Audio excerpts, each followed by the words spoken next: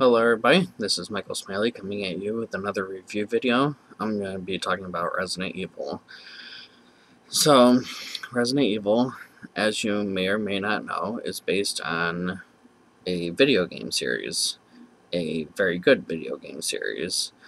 Um, I've only played a little bit of it. I haven't gotten too much, um, too much into the video games as I have the movies.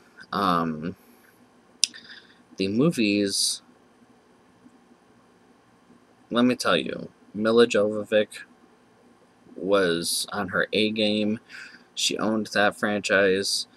Um, I believe her husband is the director, and he did so obnoxiously great at um, the direction and the the overall picture of each movie and the story that they were um, telling. So I believe that there's six movies to the Resident Evil series. Um, because I know that there's Resident Evil, Resident Evil Apocalypse, Resident Evil uh, Afterlife. But I thought that was the fourth one. Retribution. Um, and then, of course, the final chapter. But anyway, um,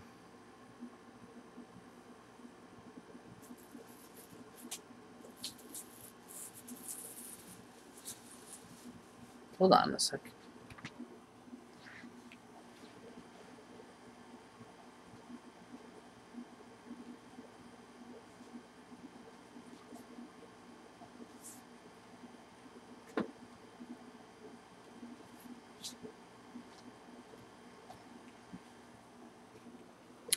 So, there are six movies.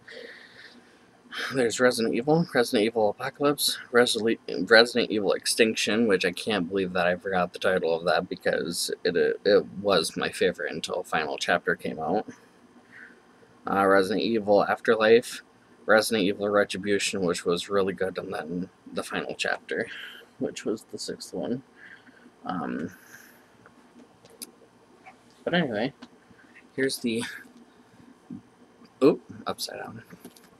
The very cool box set. This is just the five, but I have the sixth one, obviously, over there on my movie shelf. and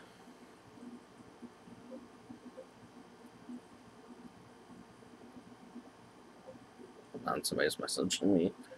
Sorry about that, guys. Um, so, Resident Evil was good. Very good start. And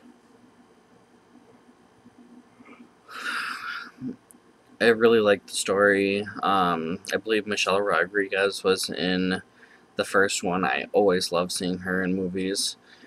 Um, and the, the first movie is really solid. It's a really great first movie. Um, when I first watched the second one, which is Apocalypse, I can't say as I liked it very much. Um, I actually thought that it was a huge step back from the first one. I don't think that it was as good as the first one, but that was my opinion at the time. I rewatched it. I do like it more now than I, I did and it, it flows better now that there's more of them. But when it first came out, I didn't like it as the, uh, nowhere near as good, good as the first one. So the first one was really good, a good setup. The second one is good now that I've seen the rest of the series, and it flows better. Resident Evil Extinction I really, really, really loved. Um,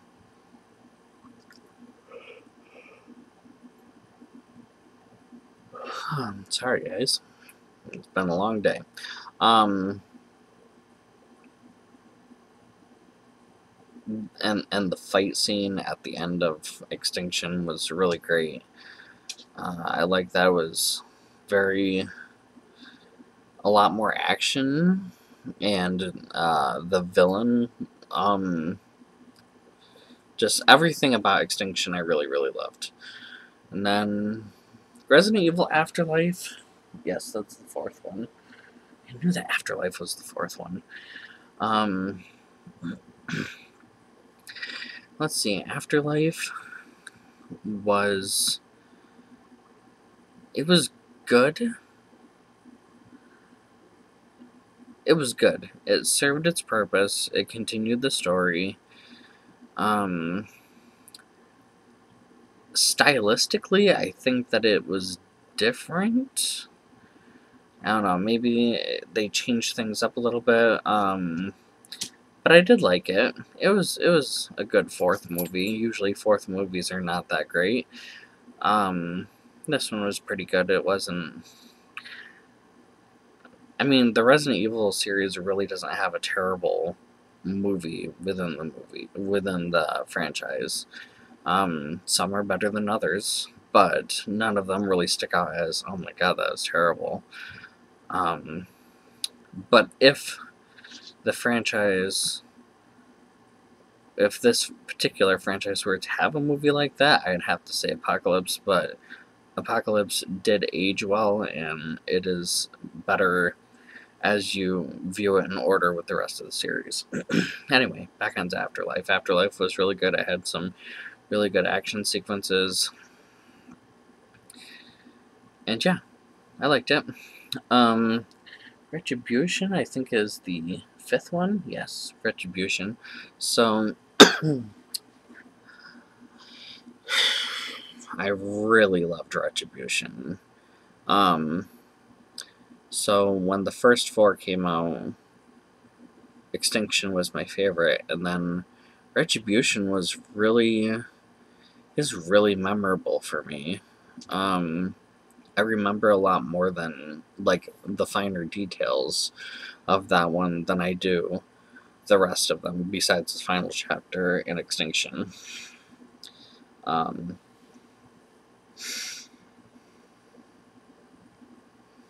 there's a lot of crazy, crazy stuff that happens in Retribution.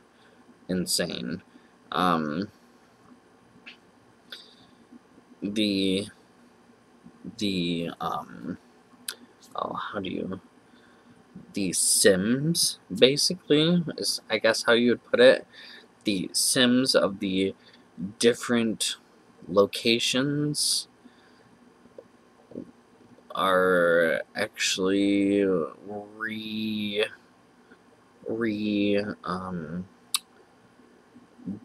done in in different ways in the umbrella corporation whatever was going on underground and it was really really insane. Uh, the action sequences the story i really really did love the style. Um, that they were going for the the pacing the direction everything i really really really did, did love everything about Retribution. Besides the ending, I it's not that I didn't like the ending, it's that it was hard to watch because it was more of a good, uh, bad guys win kind of thing, but overall, it is an excellent, solid movie. And the ending doesn't take anything away from the movie, it just it just wants you to make the hero come back and whoop ass better and tougher and stronger and everything than they ever have before. and then the final chapter. Uh, the final chapter was they really went above and beyond to really finish the series on a high note.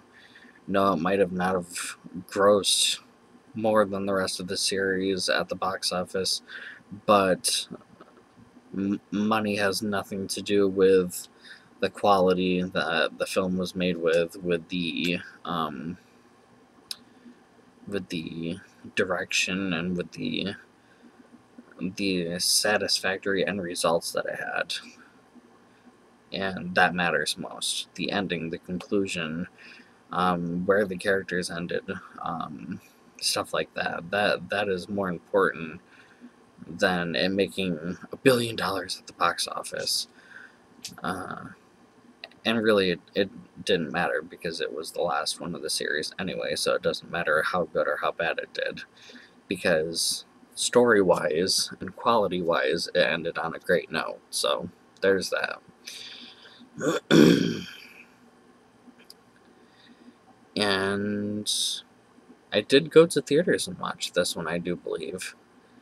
Um, I didn't previously watch any of them in theaters, I don't think.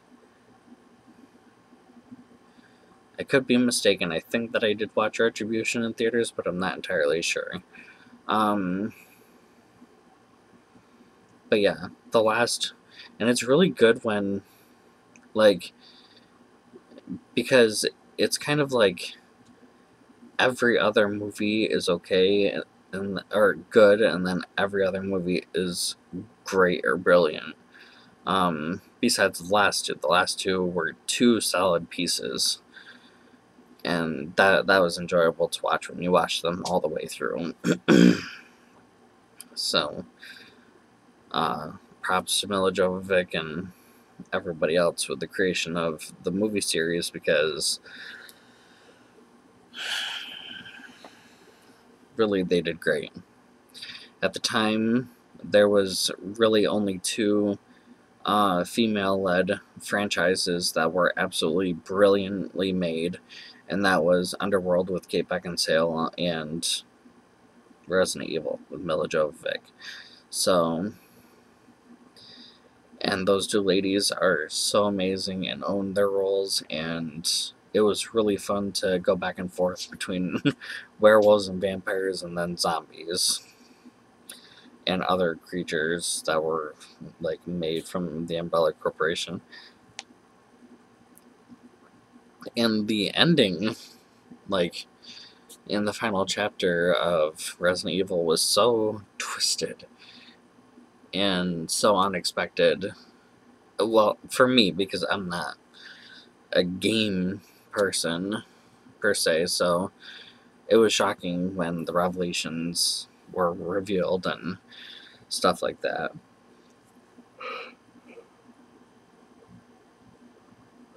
And let's not pretend that that creepy girl that says you're all going to die down here isn't like epic or anything. Uh, and I love how they actually played it at the end of the credits too. I do during the credits or at the end of the credits. Um, yeah, it's very memorable. Um, the like, there's so many different things that happen in the series, and um, is great because it's a progressive story. Sometimes it doesn't make sense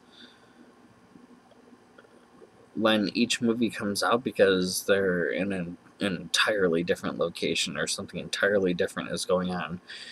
But as the series was winding down and it shows everything, it, like it all makes sense. And it it complements the series versus just leaving you hanging and you're like, eh. This one is like, it's very artistically done. So, um, anyway, that's my review on the Resident Evil series, and um, hopefully Milla Jovovich uh, leads another series like this. Um, I'm a huge fan of hers. I loved her in Ultraviolet. I loved her in obviously the Resident Evil series. I loved her in The Fifth Element. Um, I loved her in the one where I believe she's blind. And she ends up like it's a thriller type of movie. I can't remember the name of it. I think it has something to do with glass in the title or something like that, or blind. But um, that was an excellent movie. Uh, and she was just in the newest uh, reboot of uh, Hellboy, and she was great in that. Like, absolutely love this woman. Same thing with Kate Beckinsale. So, like, they should really uh, lead franchises together and, like, not compete, but, like, you know, it, it's fun when you have, uh, when you have two totally different genre movie franchises with people that you absolutely love and own their roles. So, anyway, I'll let you guys go for tonight and make sure you give my video a big thumbs up and subscribe to my channel if you haven't and have a great night everybody.